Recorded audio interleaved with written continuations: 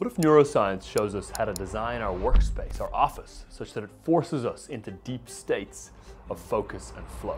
What if you could enter a state of flawless productivity and focus just by changing where you work? I'm Rian Doris, co-founder and CEO of Flow Research Collective, along with my partner, Steven Kotler. We've taught thousands of professionals how to access states of flow at will. Charles Darwin, William Shakespeare, Bill Gates, Emily Dickinson, Thomas Edison, what did all of these profoundly effective and successful people have in common? They all had a place, a specific location in time and space from which they changed the world. And the nature of that place affected the degree of change they were able to make. From Edison's laboratory in Menlo Park to Darwin's family down house in Kent, these creators had a workspace in which they lost themselves in states of flow and peak performance one idea, leading to the next in an effortless free fall of creative association and pattern recognition, blending with their environments as they brought to life their respective contributions to humanity. Like these titans of industry, the time you spend working in a flow state is likely to be some of the most important time in your entire life, where you produce your most important and impactful work. Flow and elite levels of productivity can either be amplified or hindered by where we work. The trouble is, the average knowledge worker hasn't intentionally designed their workspace for flow. They tend to fall into one of three camps. So which of these sounds most like yourself? Number one, there's the overwhelmed office worker. You work in an office plan plagued by constant distractions between tap on the shoulder, meetings and chatter. You can't focus for more than 11 minutes at a time. You dream of a private office, but feel powerless to be able to change your environment. Then second, we've got the uninspired home worker. You know how this is. Yesterday's dirty mugs still clutter your makeshift desk. Maybe you work on the couch hunched over so the ergonomics are terrible. The cluttered space is associated more with distraction than with meaningful work. You know you could have a lovely office, but you kind of lack the clarity on how to set it up or the motivation or diligence to keep it set up. Finally, there's the rare but realized, the workspace Olympian. The Workspace Olympian engineers their workspace for flawless focus and productivity. It's treated as a sacred and cherished space, so all sources of distraction are banned and everything is set up for complete immersion in flow state and accelerated progress. The Workspace Olympian understands their environment must facilitate focus before focus can facilitate greatness. Whichever camp you fall into, it's only after you optimize your workspace that you realize the massive difference it makes for your focus, your productivity, and your access to flow state. Now, Jamie Wheal, the co-author of Stealing Fire, coined the term Flow Dojo, which refers to a space that's solely dedicated to activating flow states with maximum reliability. I once rented an oppressively bleak office space. It was the 50th floor on a drab Mexico City high rise when I was living down there. Frigid temperatures, harsh fluorescent mental asylum lighting, plus a tedious commute up the stairs and the elevators. The musty carpet and sterile drywall sapped my motivation. I could barely stand to be there. Then I moved into this gorgeous office space called Hab with floor to ceiling windows overlooking the tree lined Amsterdam Avenue in Mexico City. There were soft, natural lightings, lively colors and textures. And on my way to my desk each morning, I'd grab mouth watering coffee and lovely food, eggs and avocado from their cafe, just getting my brain alert and happy before sitting down. And I ended up spending more than three times the amount of time working at Hab in comparison to that previous office space in the skyscraper. And I accomplished way more in those hours too. I was happier, more immersed and absorbed in my work and able to access flow more reliably. The point being, never underestimate a workspace's magnetic pull. A depressing space repels you, an incredible environment draws you to stay longer, achieve more in each session, and return eagerly. And this translates to increased flow and boosted performance. For example, let's say you're a writer. Say you typically write for three hours a day, averaging nine new pages per day. If making your workspace more alluring inspires you to spend just 10% more time in it, that extra 18 minutes daily will translate into 216 additional pages written for the year. And this adds up invisibly, all because you enjoy working in that perfectly designed Flow Dojo so much that it lures you in and keeps you there. But there's more. Your Flow Dojo is more alluring, yes, but you also get into flow more easily when you're in it if it's set up optimally. Even a conservative 10% increase in productivity, much lower than certain research shows we get when we're in flow states, would yield another 576 additional pages written annually. So if you combine 10% more time in your Flow Dojo with 10% increased productivity from being in Flow more in a better Flow Dojo, you'd end up, in this example as a writer, creating an extra 792 pages annually, the equivalent of a magnum opus, all because you turned your workspace into a Flow Dojo. So don't underestimate how important it is that your workspace pulls you in, keeps you there, and plunges you into flow. To create a Flow Dojo, design an environment that will maximize your output when you're at your best and protect your lesser self from sabotaging your work. During the design process, you want to tap into your prefrontal cortex, your executive function, approaching the design process while well rested, possibly lightly caffeinated, and in control over more impulsive parts of your mind in this optimal state, we want to architect conditions for our future selves. That Friday night version of you that's exhausted from the work week with your limbic system hijacked and your physiology running on fumes. You know, the sleepy monkey mind self that badly doesn't want to push through to finish necessary tasks, even though you know you should. When willpower flags, your environment determines behavior. So design for that version of you, the one that needs workspace conditions that spark motivation, attention, and flow, regardless of how burnt out you feel in the moment.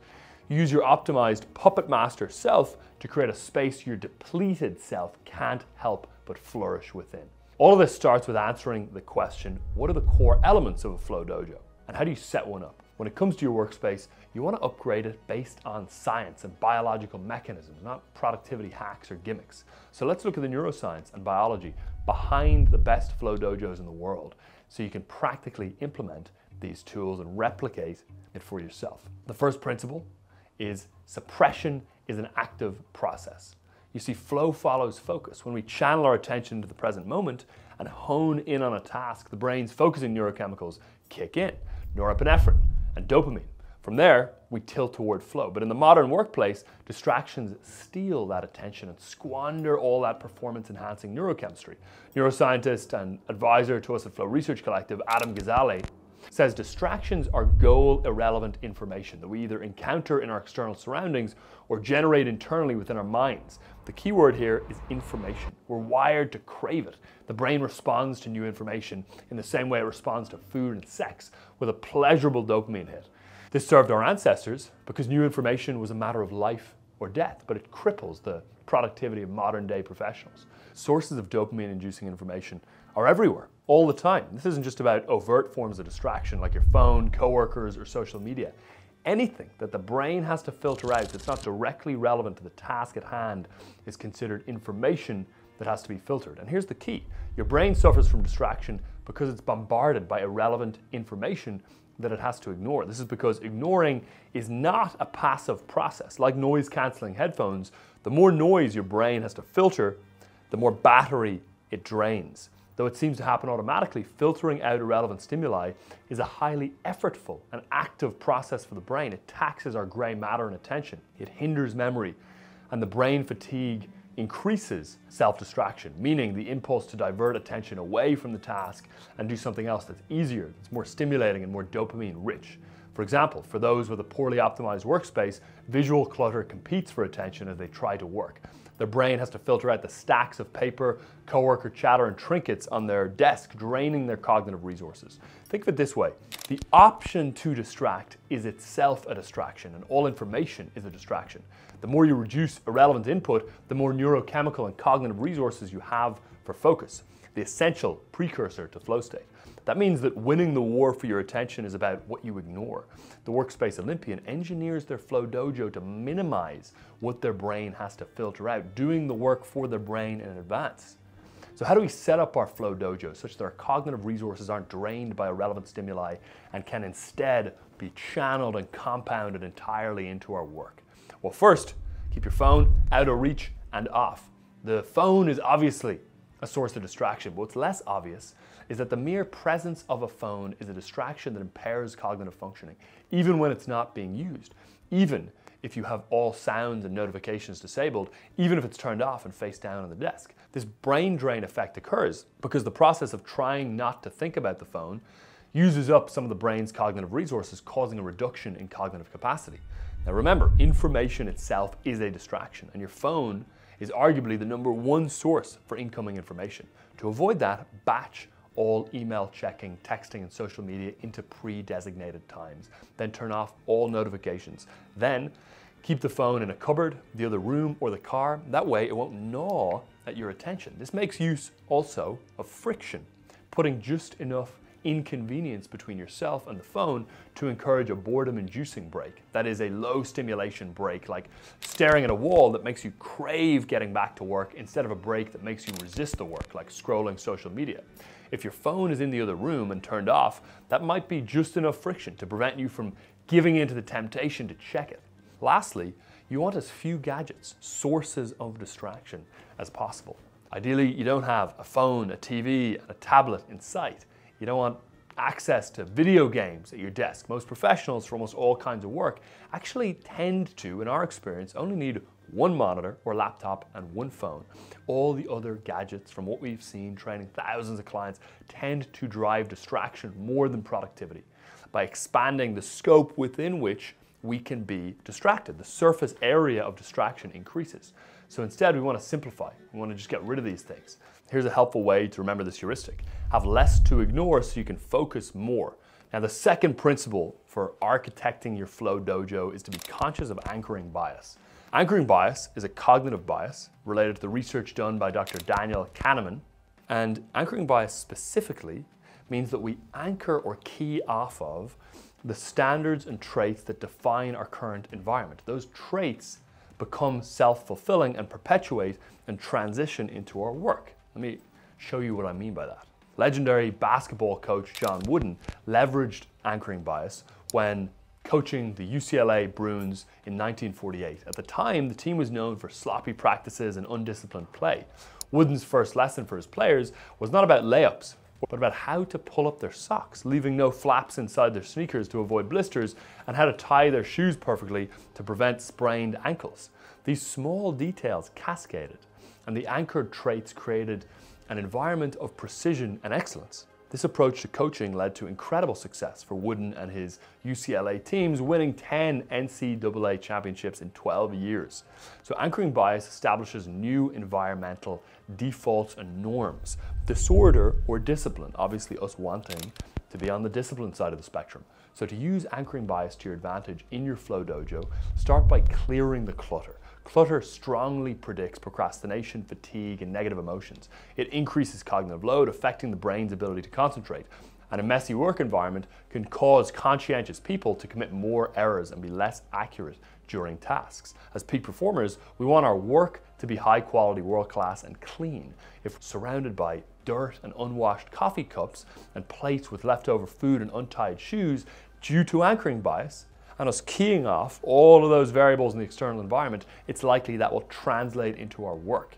One of the things I always emphasize to our sales team is that because of anchoring bias, messiness on their desk anchors into bad spelling and formatting and Slack messages, which anchors into poorly written emails to prospects, which anchors into decreased sales results, which anchors into reduced revenue for the company, which results in us not fulfilling our mission of spreading flow to the world. So every one of these stages is an anchor for excellence or sloppiness. Conversely, a clean, orderly work environment reduces stress and gives us a sense of control over our environment, which helps alleviate stress and anxiety. A sense of control is also one of the key characteristics of flow state. We increase our flow proneness when we increase our sense of control, however small. Think of it this way you shape your environment, and your environment shapes your performance. Principle three is to make the space conducive to the physiology of focus. Start by avoiding obviously unfit work environments like coffee shops, sofas, and restaurants. When we work in environments in which the context isn't explicitly designed for work, we risk operating in that gray zone, that half working, half not working state of split focus and diffuse diluted attention. We're aiming for binary work, working like a lion. The lion sprints to kill its prey, eats, then rests completely. No in between. We can do the same. We're either on or off, and the environments we work in can support that. Coffee shops, sofas, and restaurants send a mixed message to your brain and body about what it's supposed to be doing in the space.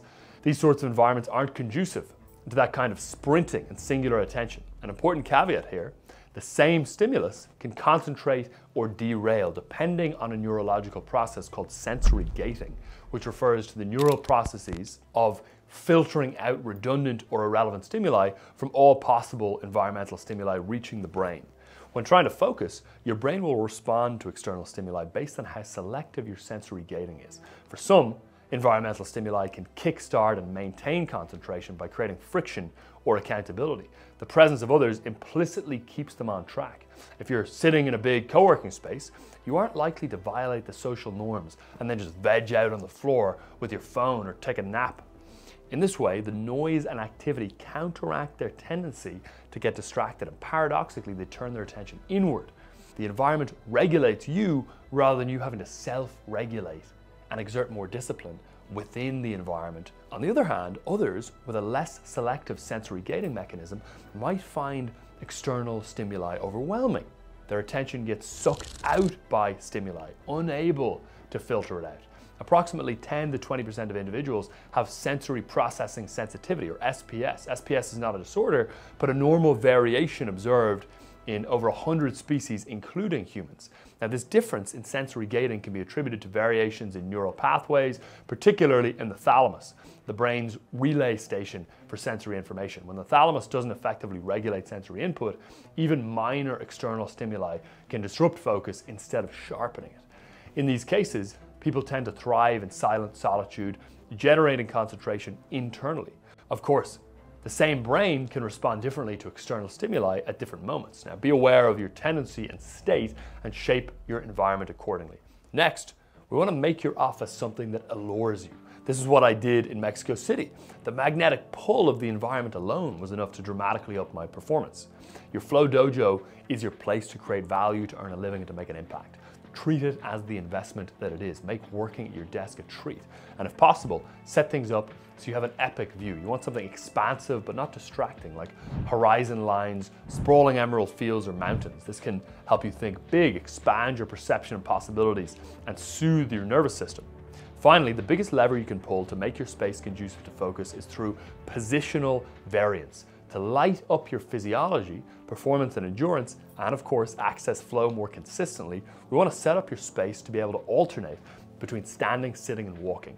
The ideal ratio for flow is to stand for 50% of the time, walk for 25% of the time, and then sit for 25% of the time. Swapping positions like this reduces perceived exertion, which is how hard it feels like your body is working. Your body reaches fatigue in one position, and this fatigue affects your performance. When you switch, you get a reset in the amount of effort you feel like you've just exerted. So remember this rule to reset exertion, change positions. And to help with this, get a standing desk. Standing enhances blood flow, delivering more oxygen to sharpen alertness. To sustain a standing position, use a motion board. This lets you subtly rock side to side so you can stand without cramping up. For the standing desk, it doesn't have to be fancy. Even a stack of books or boxes will do. You can also use a stability ball or kneeling chair to swap seated positions.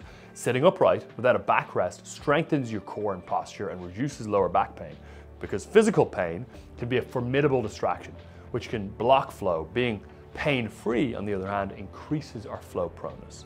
Then for walking, you can take walking meetings and get an inexpensive treadmill to put under your treadmill desk. Walking triggers exercise induced transient hypofrontality, this shifts brain resources from the prefrontal cortex to the parts that control physical movements and automatic responses, which also happen in flow. This subtle shift enables key facets of flow like reduced self-consciousness, time distortion, and heightened focus. You can also take walking meetings.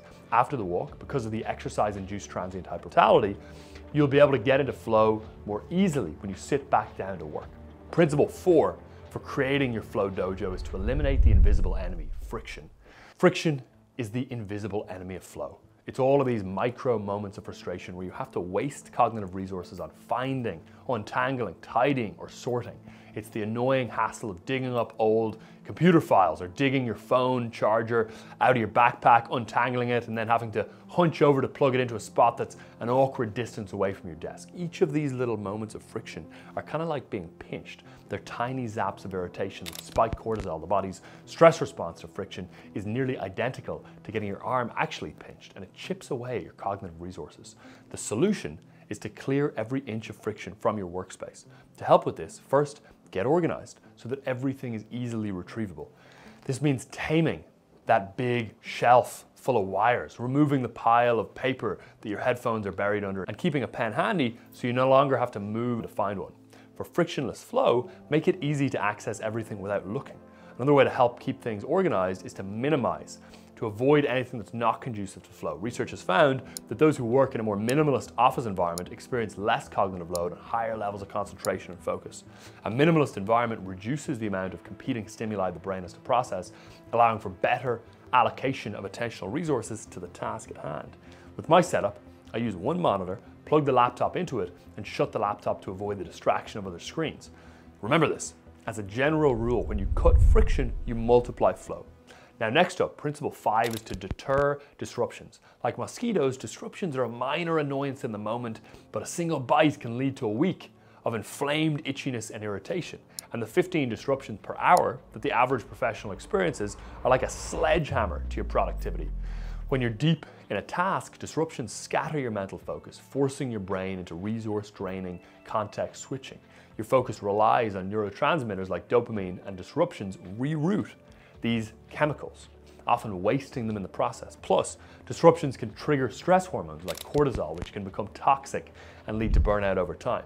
In neuroscience, there's a term for the mental toll of these disruptions, the switch cost. These mental shifts can devour up to 40% of your productive time. Your Flow Dojo must account for the cost of these disruptions. And we can do this in two ways. Number one is to be inaccessible or invisible. A closed door office with a note on the door works. They can't see you and they can't access you. If you can't do this, simulate it. Get as close to that as you possibly can as often as possible. Keep your back facing others to minimize eye contact. Wear big shotgun shotgunner earmuffs or headphones. Number two is to make it a big deal to interrupt you. Make it feel burdensome for others to interrupt you. You have to move, to turn around and uncover your ears maybe. If it's an obvious bother, you'll be bothered less. Clearly demonstrate your productivity. This is another side benefit of flow. Based on Paul Ekman's research on microexpressions, our face reflects the state we're in. And what we've seen with flow is that your gaze will often intensify in a way that causes others to be more averse to interrupting you. So when you're in flow, your face implicitly lets others know. Same with work at home. Have environmental boundaries to guard yourself from the distractions of others. The golden rule here, don't let disruptions reroute your dopamine. Now, principle six is to condition your workspace for flow. Picture your childhood kitchen, the scuffed tile floor, faded yellow walls decorated with your drawings held by magnets, dad maybe humming as simmering pots fill a small room with warmth and the tang of spices, the sticky door that always needed a firm hip bump to get the latch closed and the clink of ceramic mugs bumping together in the cabinet. Even years later, one whiff of cinnamon or the sound of sizzling oil might bring you right back, with nostalgia overwhelming your physiology. Or that unique atmosphere the instant you stepped into school, stale air tinged with an odd but nostalgic scent of dry erase markers, weathered textbooks and cafeteria pizza, the steady metallic click of multiple combinations dialed in locker halls, the sudden wall of sound as classroom doors opened, spilling laughter and chatter into the vast tiled space echoed with friendships and pencils dropping. Environments intricately tied to mental states, and even the faintest echoes can mentally transport us back through time. We tend to underestimate this. But now, what if you could harness this same concept? Not to elicit nostalgia, but to deliberately cultivate laser like focus. Well, classical conditioning has long been used to create learned associations. The classic example is Ivan Pavlov's experiment with dogs. By consistently pairing the neutral stimulus of a bell with the reflexive response of feeding the dogs, Pavlov conditioned them to salivate at the sound of the bell alone. A similar principle is applied in CBTI, sleep therapy for insomnia. Patients strictly keep their bed for sleep only, no screens or reading. This associates the bed with the sleep response rather than with wakefulness. Over time, the bed becomes a cue for physiological sleep. And just as CBTI classically conditions the bed for sleep, you can condition your workspace for flow. The neutral stimuli becomes the desk, chair, computer, your office environment. Pair this repeatedly with the focused work. And you can trigger flow via proven triggers as well, a specific playlist, caffeine, light exercise. Then while in this peak state, immerse yourself in focused work. Over time, your office environment alone will trigger heightened focus and motivation. But here's the key. For this classical conditioning to kick in, only use your Flow Dojo for focused work. In the same way you don't want to associate your bed with anything but sleep, you probably don't want to associate your Flow Dojo with anything but focused work. This means don't allow yourself to slip. If you find yourself starting to procrastinate in your office or get distracted, checking your phone, scrolling social media, hopping on a call with your friend, then literally get up and walk out of your office immediately so it doesn't get conditioned for those anti-focused things. That way, your workspace becomes a cue for your brain to release dopamine and norepinephrine with consistency Merely entering your office will put you in a state of mind that's conducive to peak performance. And you can add stimuli to your office to increase the stimulus link that's associated with your Flow Dojo, including sound and scent. I like to play rhythmic instrumental music and binaural beats in my office, and I like to burn an incense stick. As I pull it out, spark the lighter, and start burning it, my brain knows it's time to focus. It's also relaxing, and the only sense that goes straight to the amygdala. Sound and scent can create an invisible environment, a flow cave that you can escape into immersed in your work. Now let's tie all of this together with a simple checklist. Use this to create your own Flow Dojo, and even if it takes you a few weeks to set up the ideal conditions, or months, or even years, it's worth it. You can download this checklist for free. Just click the link in the description. It contains all the principles we've covered for upgrading your workspace into a Flow Dojo. Now first, there's your workstation.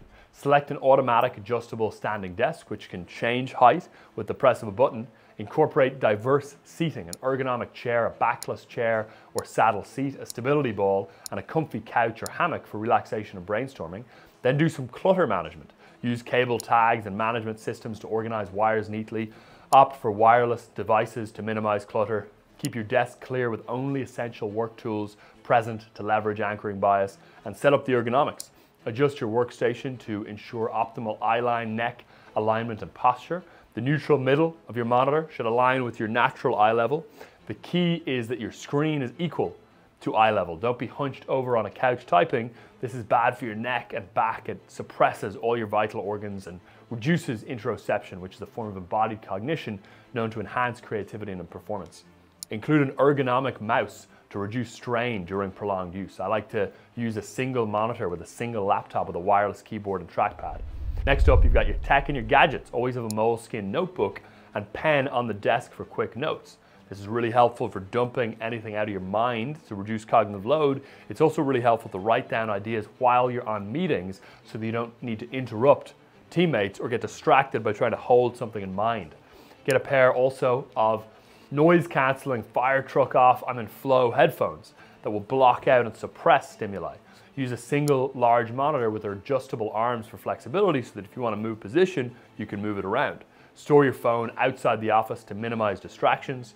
Minimize the need for impulse control. Don't have a fridge nearby loaded with soda or donuts. The next part of the Flow Dojo checklist is furniture and aesthetics. Choose a consistent theme and look that you like for your office furniture that makes the space alluring and appealing to you.